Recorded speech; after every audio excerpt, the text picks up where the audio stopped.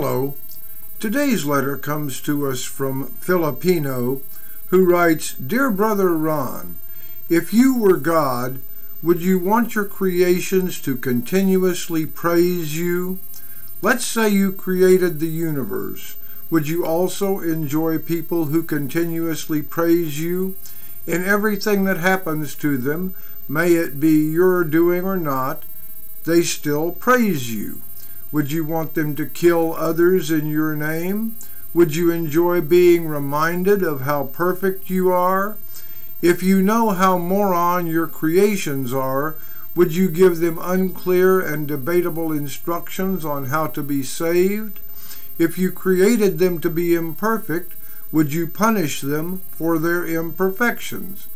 Can you be a better God than any of the gods in the religions today? Well, Dear Filipino, uh, God is not an egomaniac.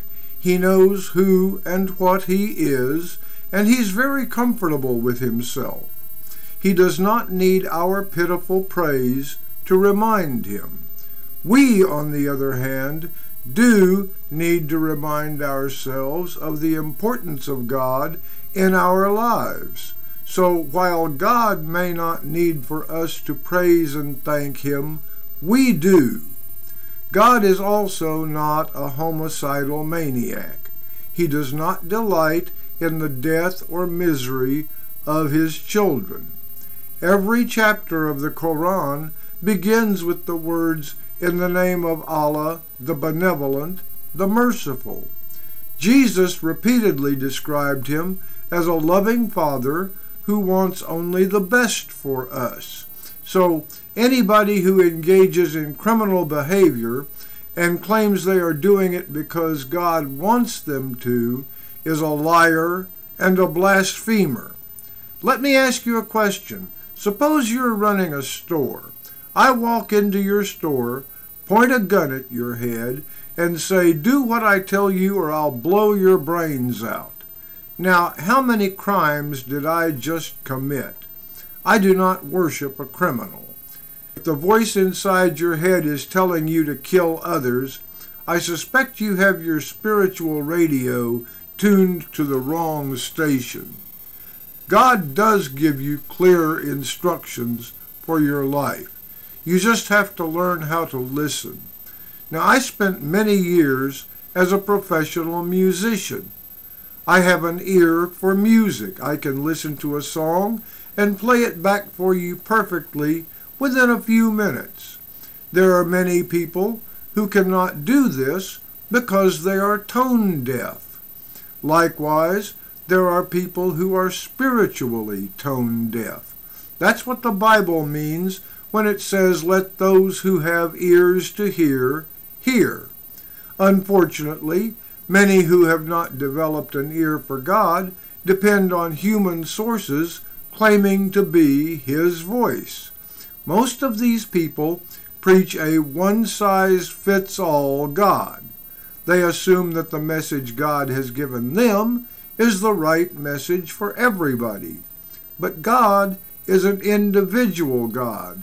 He speaks to each of us in the language we understand and gives each of us the message that is right for us individually.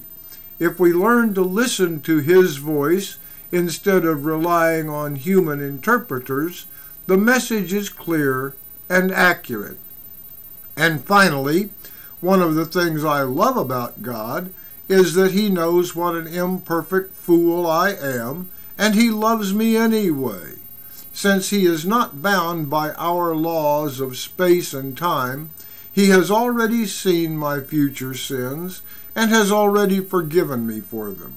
Since He is not a homicidal maniac, He would not condemn me to eternal damnation for doing what He sent me here to do.